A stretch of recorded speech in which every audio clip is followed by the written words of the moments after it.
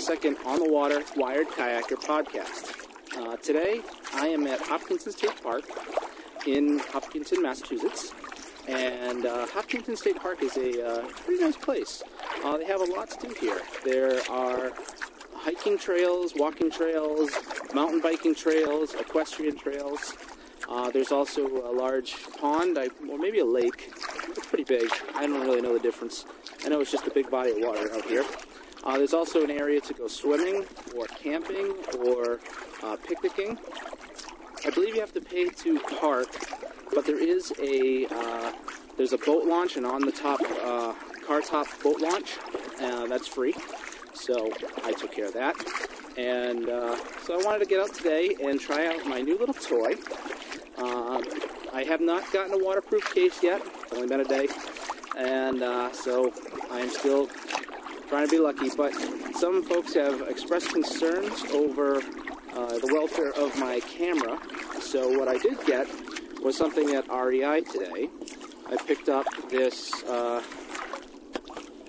you see, this is a little waterproof case. You can put your camera in, and it is supposed to be uh, lens quality clear, so I could take lens quality photos. So it's a lot better than taking it through the plastic Ziploc bag. Uh, it's only about $12. I have it attached to my life vest, so it's not going anywhere. I believe it floats as well, but I'm not going to chance it with my camera. Uh, I have been able to get at the controls. Um, I have gotten it a little wet, so I am getting this wet. Uh, so I try to find a spot that isn't wet or wipe it off here.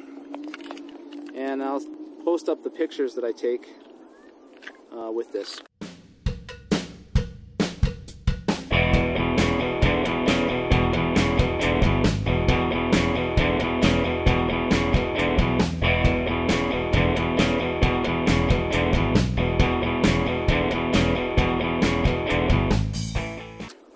Uh, I also picked up one of those uh, lasso uh, security systems, so uh, I, picked that up at REI today as well. Um, not sponsored by REI, it's just where they happen to have it. And uh, actually, as of yesterday's podcast, when I put that up, I was contacted by our local newspaper, and uh, they found me on YouTube. It's kind of kind of funny. Uh, and they would they'd like to do a, an article on people who are doing video in um, in my area.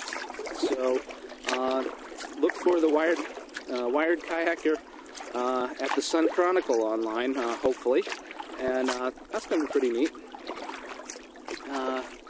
anyway, trying to make this short and sweet. So this was a another wired kayaker podcast. Enjoy and have a good time paddling out there.